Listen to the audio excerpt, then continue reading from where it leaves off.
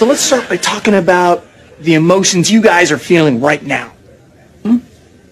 Stabbing. Stabbing isn't really an emotion, it's more of an activity that I hope you don't do to me.